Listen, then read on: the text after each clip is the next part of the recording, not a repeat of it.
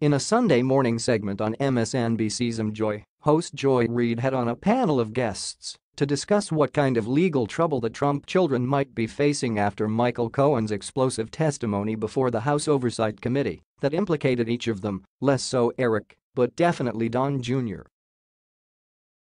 and Ivanka in not just a higher level of involvement in decisions made in the Trump organization, but specifically as regards the potential Trump Tower Moscow at the center of Cohen's lies to Congress the first time he testified. One of Reid's guests, Tim O'Brien, is the author of Trump Nation, The Art of Being Donald, and his insight during the segment could prove to be prescient and shocking.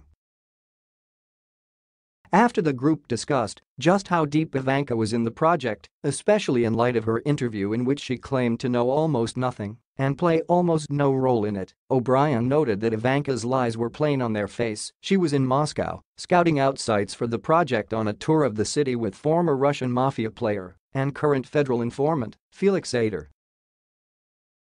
Then the host asked him what lengths Trump might go to in order to protect his children, and O'Brien was unequivocal. Trump would burn Jared Kushner in a heartbeat to shield Ivanka from legal trouble.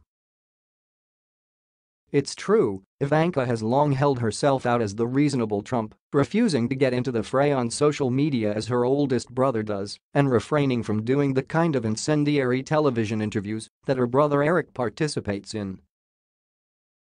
And as has been widely reported, Ivanka and Jared each have aspirations far beyond anything they've achieved so far, so it's conceivable that when the time comes to make that decision, she may make a choice that her father never sees coming